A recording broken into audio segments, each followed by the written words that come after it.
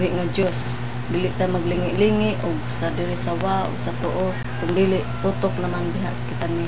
Ginoong Hesus kay sometimes sa dili pa siya mo balik dinhi sa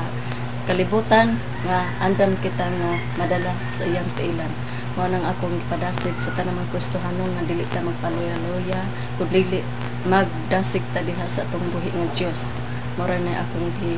ipadasig sa tanang mga Kristohanon Amen